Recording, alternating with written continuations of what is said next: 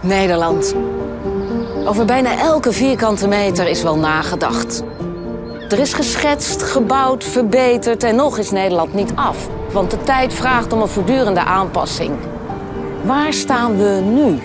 Hoe zorgen we dat Nederland een leefbaar Nederland wordt voor iedereen?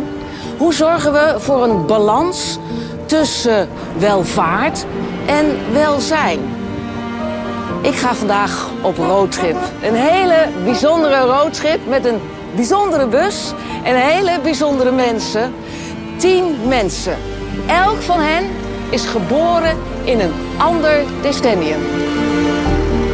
De mensheid heeft nog nooit in zo'n gevaarlijke toestand verkeerd. Ik dacht, hoezo geen vrouwen in de geschiedenis? Hier, hier zijn ze. Had maar één goede ronselaar op mijn pad hoeven te komen die tegen me gezegd had... ga mee naar Syrië. Ga daar mee, zodat ik jouw situatie, waarom jij bent gevlucht... het nog erger had kunnen maken. Ja. Als hij me goed had weten over te halen, had hij me overgehaald. Ja, en dan was ik hier misschien niet geweest.